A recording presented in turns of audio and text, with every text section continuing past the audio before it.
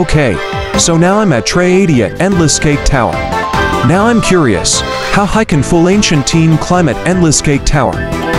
Okay, so I'll do battle every 10 tray, which is a boss stage. Okay, time for execution.